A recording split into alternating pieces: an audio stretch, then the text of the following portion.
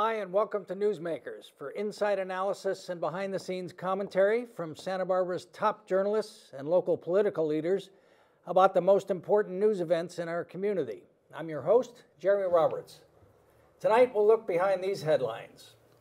Montecito residents grow increasingly frustrated with unclear and unreliable evacuation planning.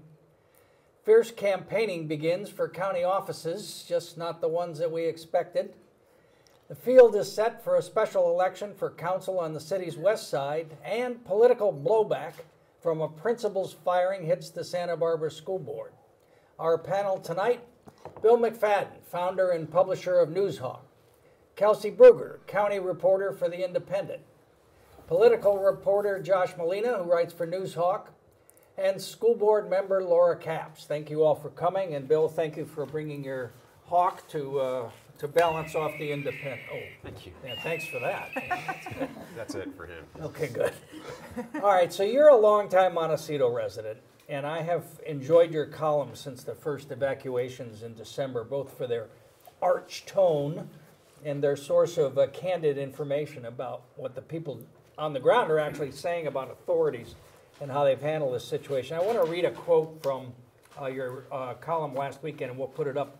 Um, after an atmospheric river of hype, Santa Barbara County survived the latest storm of the century with very little drama, but a whole lot of inconvenience for tens of thousands of residents forced out of their homes in the umpteenth blanket mandatory evacuation of the year. With the horror of the deadly Montecito flash flooding and debris flow still fresh in everyone's mind and the fierce determination to just get through the rest of the rainy season with no more casualties, I can understand emergency management officials erring on the side of caution. But as soon as this immediate danger has passed this spring, it would behoove residents to have a come to Jesus meeting with elected officials and public safety policymakers about this one size fits all response. Unless the law of gravity has been repealed, most of Montecito is in little danger from water or debris as a simple matter of topography, let alone physics. Tell us how you really feel, Bill. Has uh, who wrote that? I don't. so has the sheriff mishandled this whole evacuation issue since the beginning? That's an interesting topic. Um, the uh, the blanket mandatory evacuations are, are certainly um, suspect. Uh, the fact that the fire wildfire evacuation maps were used for the first flood evacuation uh, or rainstorm evacuation maps on January 8th um, fire and, and water obviously behave behave differently, and I'm not sure that East Valley Road is a is an adequate cutoff for a flood racing down the mountain when it gets apparently Valley, not. It says okay, can't go any farther. This is where the the cutoff is. So. Um, I do think that's fair game for residents to question um, when, especially when 19 of the 23 deaths were in the um, voluntary evacuation zone, including all six of the children. So, so what's the mood of people? I mean, it's frustrating. They don't know what the future is uh, about their property, uh, whether well, they can rebuild, not rebuild. There's a lot of frustration, and, and uh, in all fairness, no one really knows uh, what the future is for a lot of those properties. Um, the, the, the, destruction is so catastrophic. Um, you know, the uh, whole creek beds have, have uh, shifted um, and uh, there's, there's really a lot of uncertainty.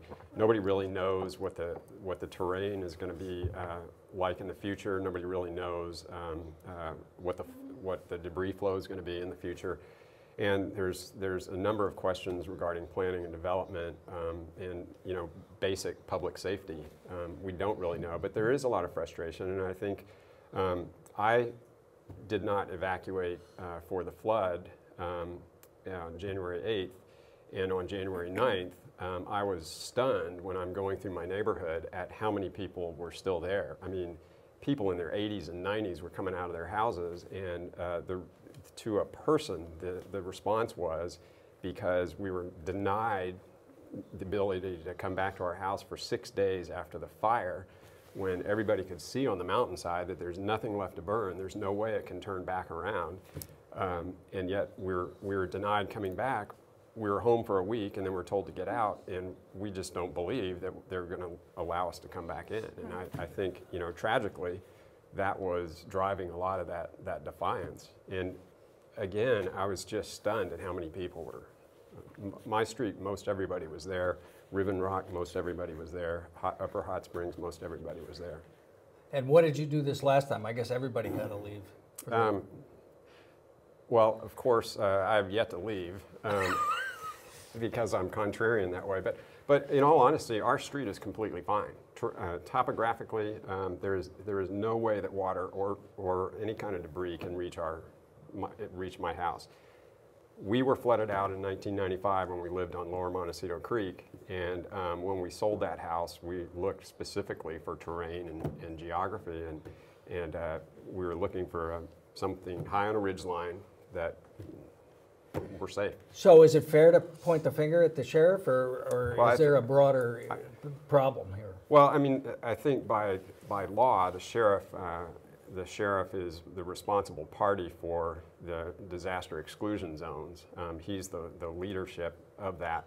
So I think it starts there, um, but uh, all of emergency management needs to, and I, and I know that they will be reviewing this. Um, It's not like this is happening in a vacuum, but it, it sometimes seems that way. But I think it's fair to start at the top. I mean, you've got to take some responsibility there. And what do you mean when you say that residents should have a come to Jesus meeting with uh, elected officials in public safety? What, what does that look like? Well, I, I think that, again, getting back to the, the maps, um, just by saying from point A to point B, you've got to leave. Like, we don't want anybody in this area, um, disregards the terrain, and, and 85% of Montecito was unaffected by these floods, except by, for access.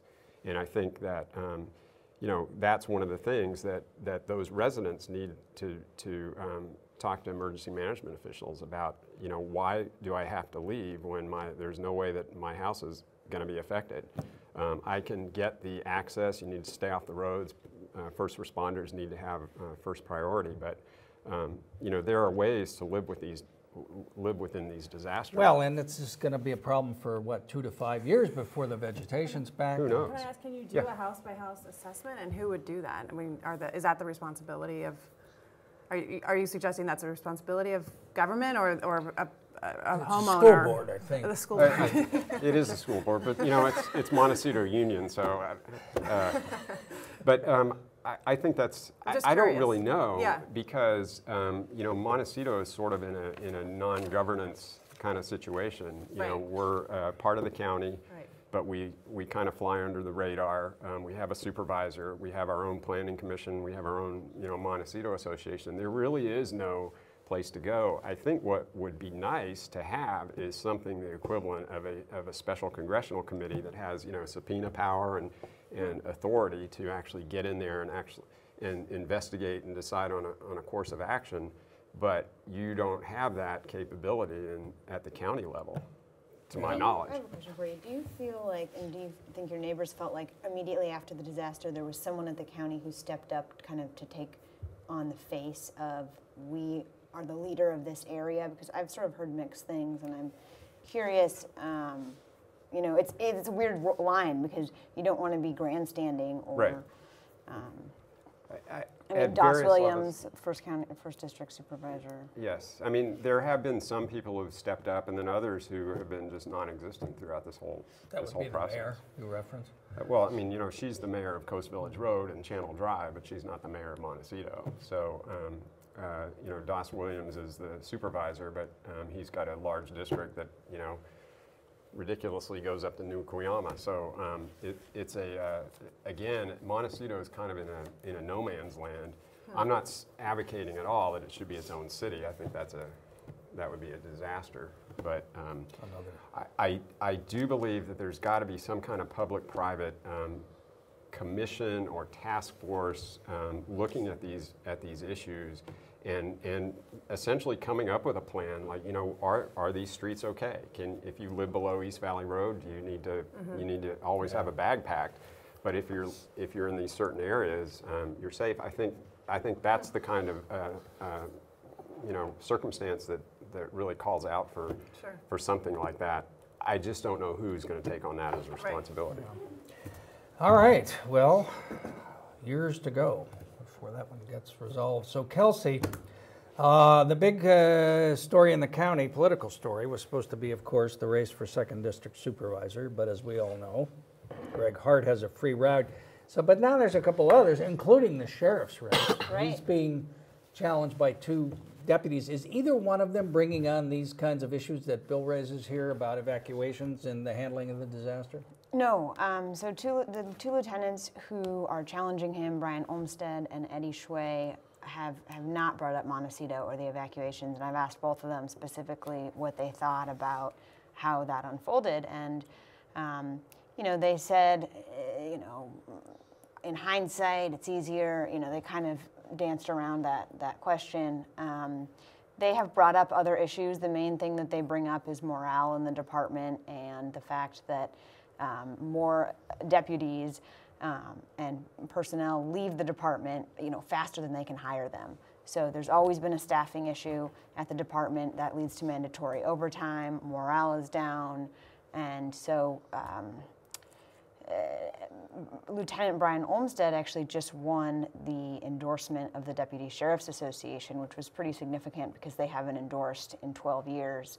And so 70%, or 68% of uh, the union voted to endorse Olmsted. Um, so that's pretty you're, overwhelming. you're, a, you're a world-class political analyst. Now, would you not agree with me that it's impossible for either one of those guys to oust Sheriff Bill Brown? You can't beat the champ unless they raise this specific issue that nobody cares Right. From a voter perspective whether morale is bad among the deputy sheriffs no one or even not. really knows what that means is the first problem, but go on. Don't you agree with me on that? Don't you, Josh? Well, yes, Jerry. No, I, I, there has to be something that is so big, so huge that the incumbent has been a part of that would tarnish them, that would give people a reason to want to oust them. Most people don't care, most voters, about morale or somebody's policy decision regarding the jail or something like that. I think the problem is that they're not going to attack him on that because they, they feel like that's sort of that would be a place that they went that would be very hard to come back from if they don't win. And I think there's a little bit of honor in the race. I get that sense. They want to support him. Um, as far as the Well, how do you- evacuation How do you go back after challenging? It's an honest question. I mean, I mean, I- in, in any case. right. Ca- ca- I mean, Well, you- last time, um, Sergeant Sandra Brown, no relation to Brown, was transferred from her position supervising the coroner's office to supervising the bailiffs in the courthouse. So it was just called a routine transfer, but seen as a demotion um, after she went against the boss. Right. So. So, no. And then uh, we also have the uh, auditor controllers race. You Yeah, wrote- you I think the it's a bloodbath. I think- that right? story that was that Can more only be described that way. more read about an auditor's controllers race than any in history, I believe, be- because it's a blood blood bloodbath. Now, Laura would like you to explain who's living with whom in that one. I was confused. It's a little convoluted. um, so, uh, the the big picture here that I think is important to keep in mind is this is all unfolding um, in the context of the 1.7 million dollar embezzlement case in Public Works that came out last year. So, because of that, I think there's a lot more accusations flying about what's happening in the auditor's office. Auditor's office, because typically that race is a you know is a sleeper. So um, Jen Christensen, the, the race is Jen Christensen against Betsy Schaefer. Jen Christensen, who's worked for the county for about 16 years, uh, served in the auditor's office herself, treasurer's office, and in county council, um, has brought up the fact that um, one of the vendors that the county uh, works with, um, Rick Schaefer, used to work for uh, used to work for the county. He went on, created his own business, um, Simpler Systems, that contracts with the county. He was married to Betsy Schaefer. Uh, they're, they're divorced. They divorced in 2013. Um, but this, this, does, get- this, does, this does get complicated. So, so Jen Christensen is beefing about Betsy Schaefer's ex-husband. Yes. Yes, and so and Why? Uh, Theo Filati, who is the current auditor, Yes. he was Household living name. he, he was living in Ventura when he was in the running to be appointed after Bob Guy stepped down. Yes. following me. And so he rented a room from Rick Schaefer for a temporary. From, uh, ex-husband, From Betsy's ex-husband, one of, uh, a longtime in vendor order with the to county. spike his pension. In order to get this position, get a pension, you know, get a greater pension, get this promotion, um, and serve in this position for two years. So it is fair to say, okay, so, so what? And Jen Christensen's point is, this is just a little too cozy. Um, and I think larger picture, her argument is, why didn't the auditor's office catch this $1.7 million embezzlement case that happened over nine years? That And like if a you- better question. If you the ask, No, I think the question that's really troubling live in Laura a voluntary or mandatory evacuation? so was Betsy Schaefer married to her ex-husband at the time that the former auditor controller was living in the, in the room, It's in the rented room? Isn't it irrelevant? uh, No, they uh, were divorced at it's that a pension spike. The guy moved to, to spike his pension, right? I mean, that was the whole Well, he point. got this promotion, and it was at the time it was thought that you know Bob Guy stepped down two years before his term expired. It was thought that he was you know uh, Theo Fallati would run for this seat this year, and he's not running. Um, and so Betsy Schaefer, who's his number two, has stepped in to run. Next Here we week, are. the Independent presents a flow chart of the auditor controllers. All right, Aren't, aren't you going to ask her who's going to win, like the sheriff's race? not tonight. Oh yeah, who's, who's the front runner? Stay tuned, Josh. All right, Josh, who's the speaking front of runner? who's going to win, Well, if we Josh, at you, the you, you, facts, you ran down the, uh, the, the third district special election, the much-needed special election in the I, I state. believe I'm the only reporter in town who's talked to all the candidates. Tyler Hayden, Did you finally reach the city college? you didn't, you didn't reach, she's skiing. Spring I, break. I, I have- talked to her mother. I talked to her mother. Yes. That's just as good. Laura brought her. What did her, what did her, what, are, what does her mother think? Does she think she's pretty good? All right, so as I understand your piece, uh, How did you get deconstructing, her mother's phone? Okay, go on. That Investigative really reporting. you believe, you believe that Oscar Gutierrez, our former director, it's his race to lose in the third district, and he's entirely capable of doing that. Is that a, is that a fair characterization? Well, I think that you know typically in the, in a in a district race like this, if you have the party's endorsement, it's very helpful. He has a Democratic Party. Democratic Party, lots of resources. They're all Democrats who are running, but we don't really know how this is going to turn out because because it is a low turnout and the candidates are all pretty, shall we say, even. Um, you know, there there's there isn't anyone who stands out as like, oh, they've been doing this in the community for 20 years and they're the front runner. You know, Oscar getting the endorsement for the Democratic Party is a big boost from him for him. It takes him from being kind of just a candidate to being a candidate who's going to have a legitimate shot now. And, and organizational resources, presumably. Yeah, I mean, it, it's not like, oh, the Democratic Party has some great power. It just means resources. It means more people to walk and to call and to make phone And banks. who are the other candidates? and they'll, they'll put him on the ballot or on the slate with all the other Democrats who they're really interested in. In June, yeah. So that's tough for people to overcome who are not uh, part of that. So it's it's going to be an interesting race. But this is it's sort of the good and the bad about district elections, which is, you know, the the, the good is that you know we've got three um, people. We have Michael Vidal, we have Oscar Gutierrez, we have uh, Ken Ken Rivas. Ken Rivas, and uh, Elizabeth Hunter. So we have three Hispanic mom, three Mexican American candidates who are running, you know, and one of the points of And one woman. and of district elections was to increase diversity on the council. So we have those candidates. We have Elizabeth Hunter, the only woman in the race who is running. So to that degree, it's it's working, uh, but we don't really know how good any of these candidates are. I've interviewed them, and they're they're they have a general understanding of the issues. So it's going to take some time for them to come up to speed, and hopefully we'll have some kind of forum and we can see these people lay out their their policy issues. But Oscar having being on that Democratic slate is going to be helpful to him. and the mayor behind him. Yeah, and having Cathy Murillo leading him around by the nose. I think it's the phrase you're looking for. I mean, that's what it looked like to me. Oh, you weren't there at the women's political I caucus. wasn't. And she was just, I mean, he was just following in her wake and, and, and she was introducing him. Yeah, Cathy's doing everything she can to get him elected. Oscar was not even a registered Democrat up until the endorsement interview with the Democratic Party. So I interviewed him. I asked him, Who told you to register as a Democrat? He wouldn't tell me. He said he didn't remember. He said that he was surprised that he wasn't a Democrat.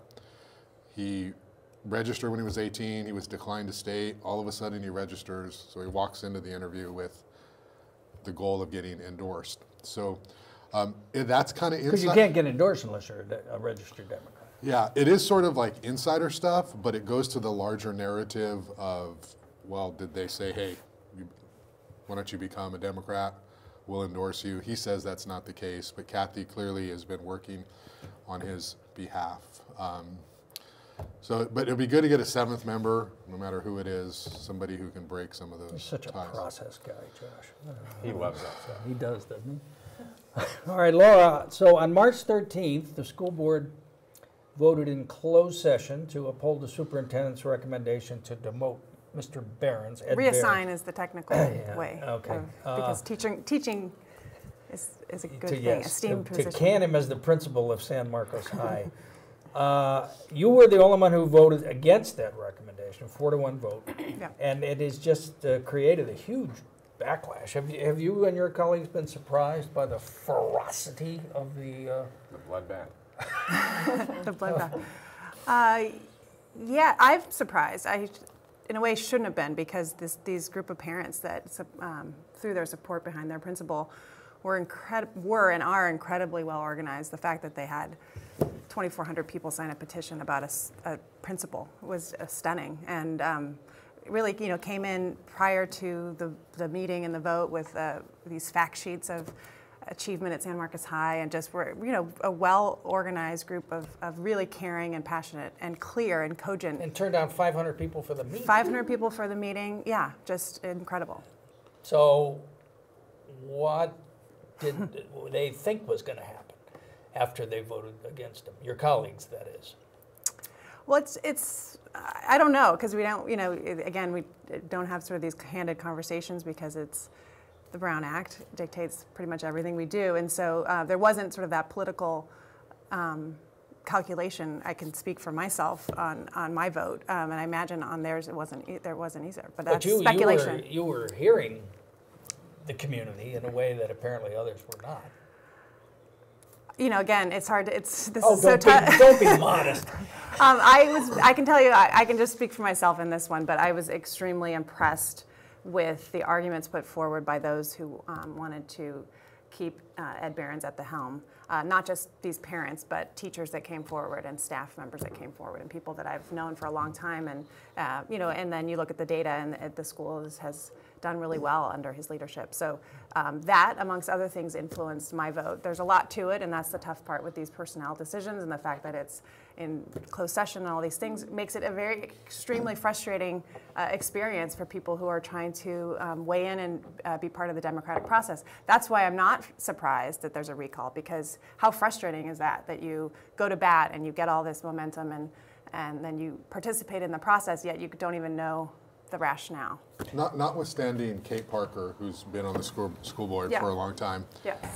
we have a relatively new superintendent in Yeah. Cary Matsuoka. So do you think that there's, um, that he culturally just sort of misread how Santa Barbara's culture is in terms of the incredible Pol- activism? Political culture, community. the political culture activism. activism that we have in the sense that you know he recommends something to a largely appointed board he expects this to happen and then all of a sudden whoa this is santa barbara they come out in full force when they don't like something is that part of this at all You know, that's a good question for him. I, I wouldn't be able to answer that with, with any kind of knowledge. I mean, we did see just months prior, you know, we had a tough vote of closing open alternative school, and we didn't have the amount of turnout, but proportionally, we almost did in terms mm. of the, the, the size of the school. So, mm-hmm. you know, we had a couple hundred.